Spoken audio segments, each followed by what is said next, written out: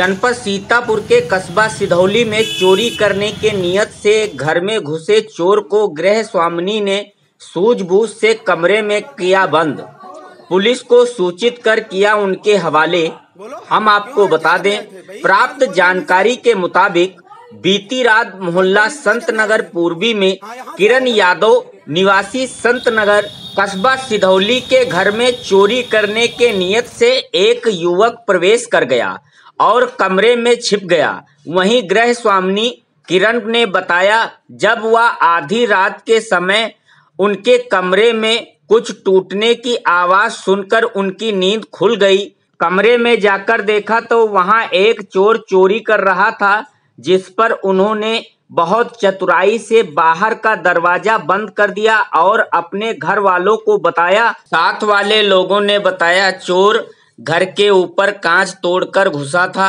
घर वालों ने जिसकी सूचना 112 नंबर पुलिस को दी पुलिस मौके पर पहुंचकर चोर को हिरासत में लिया। आवश्यक कार्यवाही शुरू की है। ना है कभी ना किरण दीदी आपके घर ना आए तो आज का कराया था जैसे जैसे देना का हुआ आज का कराया था। आज कैसे आएँगे वाह, कैसे आएँगे मैं देखा बाहर आओ तो बैठ जुआ बहुत शंका सही है। चलो तो तुम नहीं रहा है। चलो तैयार हो। कपिल बोला।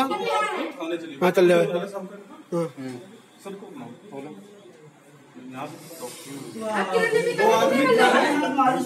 भी दो आदमी है, थाने चलिए। ड्राइवर के यहाँ चोरी भाई। हाँ ड्राइवर चलो ना ड्राइवर तुम तो इनके ना कंप्लेंट करा चलो। तुम इनके ना करो। ये है ये है फिर। तुम्हें जो चोरी भाई बा।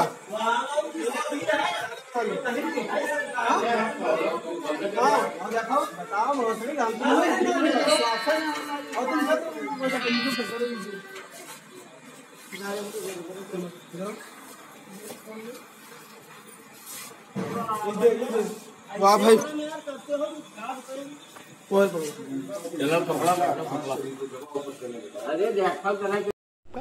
किरण यादव।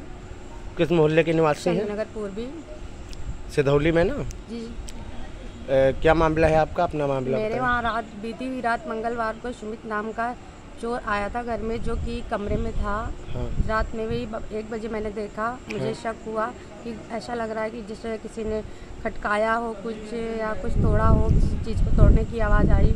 जब हमने उठ के देखा तो वो कमरे में था। तो हमने बाहर से शिकनी लगा ली और पूरा घर अपना छाना देखा। ऊपर जाके देखा फिर वहाँ से पता चला कि वो खाँच तोड़ के आया है नीचे। फिर मैंने 112 नंबर पे फ़ोन किया। वहाँ से 112 नंबर की पुलिस भी आई और उसने उसको अरेस्ट किया और उसने ताला वगैरह तोड़ के कुछ सामान जैसे पायल बिछिया वगैरह निकाल ली थी। अच्छा। अच्छा कमरे में जब उसे बंद किया तो नुकसान पहुँचाया कमरे में कुछ? कमरे में कोई खास नुकसान नहीं पहुँचा है बक्सा ही तोड़ा था साइड से। और उसने चालू हो गया? और उसने रात में दो सेब भी खाए थे जो फ्रीज में लगे हुए थे। हाँ। उसे निकाल के उसने खाया। अच्छा। उसके बाद जब पुलिस आ गई तो पुलिस ने क्या कार्रवाई की है? पुलिस आई उससे पूछताछ की उसने कुछ खास बताया नहीं। हाँ। और वो पुलिस वहाँ से यहाँ घर से लेके उसको चले गए थाने। हम्म। वहाँ मुकदमा लिख गया तुम्हारा? हाँ मुकदमा लिख गया। उसको जेल भेज दिया जेल भेज दिया। ठीक।